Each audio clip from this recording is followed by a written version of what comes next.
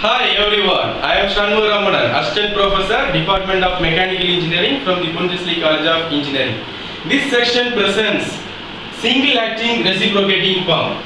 At the end of this section, you can be able to know about defined positive displacement pump, working principles of uh, single acting reciprocating pump, and the applications of air vessels and how to avoid the cavitation in reciprocating pump.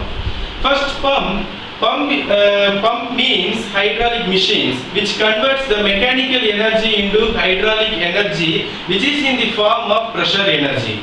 So the pumps are classified into mainly two types. One is positive displacement pump and another one is rotodynamic pump. Positive displacement pump means the liquid is sucked into the cylinder and pushed or displaced or thrust by a piston.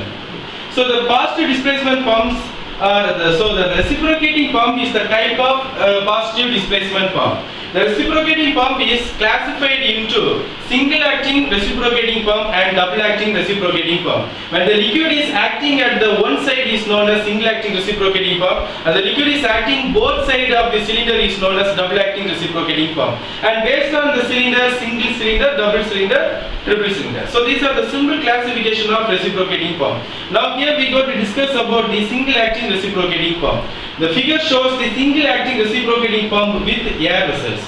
The main components of single acting reciprocating pump are one is piston, cylinder, piston rod, connecting rod, crank. Here the suction valve. So suction pipe. Sum is the air vessel.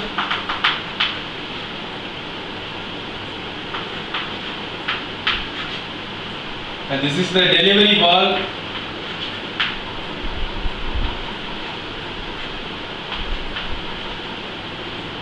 This is the delivery pipe. So these are the main components of single acting reciprocating pump. So the piston is moves front and back inside the cylinder. The movement of the piston is obtained by connecting the piston rod and crank by means of connecting the connecting rod. So the connecting rod have two ends. One is small end and another one is the and another one side has the big end. The summer end of the connecting rod is connected by piston rod and the big end of the connecting rod is connected to crank. The crank is rotated by means of electric motor. So in the single acting reciprocating pump have two valves, one is suction valve and another one is the delivery valve. These two valves are one, one way valve or um, okay, the, the suction valve and delivery valve are one way valve. There is only one side is allowed and the, and it is also known as non-returnable valve, non-return valve. So the simple working principle of uh, single acting reciprocating pump are when the crank is moved from A to B, the piston moves from right side right to left. So the partial vacuum is created inside the cylinder. So here the delivery at the same time here the delivery valve is closed, suction valve is open, and the inside the cylinder the partial vacuum is created. So here the water from the sump is sucked to the suction valve and enter into the cylinder. And the next the crank is rotated from B to A. The piston moves from right to left. So here the inside the water inside the cylinder is pushed or displaced or thrust by the piston. So here at the here the suction valve is closed and the delivery valve is open. So water from the cylinder is delivered through the delivery valve. So and next here the working principles uh, here the two air vessels are used. So air vessels means here air vessel is a closed chamber containing the compressed air at the top and the liquid at the bottom. And and here the base of the chamber has opening because here the air is yeah, sorry liquid is entering or leaving from the chamber. So here, when the liquid is entering into the chamber, the air is compressed, and liquid is leaving from the chamber, the air is expanded.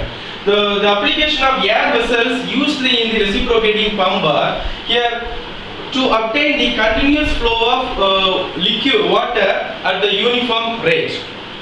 And next one is how to avoid the cavitation in reciprocating pump. First of all, the cavitation means the formation phenomenon of formation of vapor bubbles by means of the liquid pressure is below the vapor pressure. So in the reciprocating pump, uh, for if we use the long suction pipe, the the liquid in the uh, sump is below the vapor pressure. So the there is a maximum possible way to uh, liquid that is water from the sump is converted into vapor bubbles. Okay. So therefore, how here we go to avoid the cavitation by using the suction pipe is less than 10 meter.